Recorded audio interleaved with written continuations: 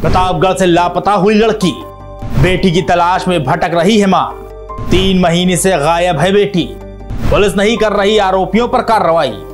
प्रतापगढ़ ज़िले में रहने वाली ये महिला उस तकलीफ़ से गुजर रही है, जिसका अंदाज़ा कोई भी नहीं लगा सकता, क्योंकि इनकी बेटी पिछले कई महीनों से लापता है, जिसकी तलाश में ये बेचारी दर दर की ठोकरें खा रही है।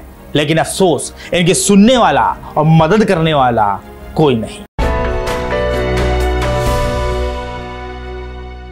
नमस्कार, मैं हूँ मोहम्मद आसिफ दुलार और आप देख रहे हैं न्यूज़ टाइम नेशन। ये सनसनीखेज मामला प्रतापगढ़ ज़िले के बागराय थाना इलाके के तारापुर कंधई गाँव का है। जहाँ रहने वाली इस महिला की बेटी अचानक कहीं लापता हो गई। इन्होंने उसे तलाश करने की तमाम कोशिशें की, लेकिन कोई फ़ायदा हासिल नहीं हो सका। तमाम जद्दोजहद के बाद पता चला कि इनकी बेटी को पड़ोस में रहने वाले रोहित और शरद अपने साथ बहला फुसला कर ले गए हैं। हमारे हमारी लड़की के रोहित और सरस भगा के ले गए हैं। आज ना हमारे बागरा में सुनवाई कुछ नहीं हुआ था।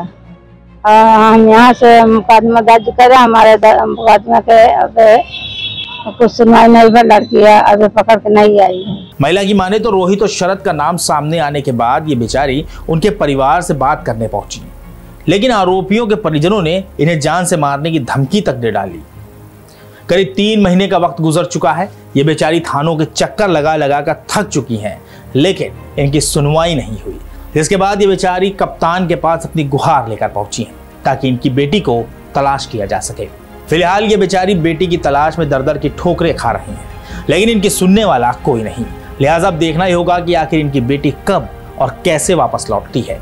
यह खबर हमारे संवाददाता खुर्शीद खान राजू और अंकित सोनी ने कवर की है। आपको हमारी खबर कैसी लगी इसके बारे में कमेंट सेक्शन में ज़रूर बताएँ। अगर आप हमारी खबर फेसबुक पर देख रहे हैं तो उसको लाइक और फॉलो करें और यूट्यूब पर देख रहे हैं तो सब्सक्राइब करके बेल आइकन ज़रूर दबाएँ। नमस्कार। सब्सक्राइब करें आपका अपना चैनल न्यूज़ टाइम नेशन और हर खबर सबसे पहले पाने के लिए बेल आइकॉन ज़रूर दबाएँ।